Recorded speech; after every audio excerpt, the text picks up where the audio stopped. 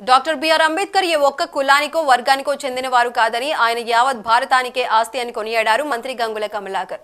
ఆయనను ఏ కులానికో ఒక వర్గానికో పరిమితం చేయరాదన్నారు. కరీంనగర్లో రాజ్యాంగ నిర్మాత డాక్టర్ బాబాసాహెబ్ అంబేద్కర్ వర్ధంతిని ఘనంగా నిర్వహించారు. ఈ కార్యక్రమానికి మంత్రి గంగుల కమలాకర్ ముఖ్య అతిథిగా హాజరై అంబేద్కర్ విగ్రహానికి పూలమాలలు వేసి ఘన నివాళులర్పించారు. తాను అనుభవించిన సామాజిక వివక్ష తన వారు ఎదుర్కోవద్దని తపన పడ్డ మహనీయుడు డాక్టర్ బిఆర్ అంబేద్కర్ అని కొనియాడారు. సామాజిక అసమానత నిర్మూలన కోసం తన జీవితాన్నే త్యాగం చేశారన్నారు. అన్ని వర్గాల వారికి సమన్యాయం జరగాలనే దార్శనికతతో రాజ్యాంగాన్ని రూపొందించిన అంబేద్కర్ భారతదేశపు అస్తిత్వపు ప్రతీకగా పేర్కొన్నారు.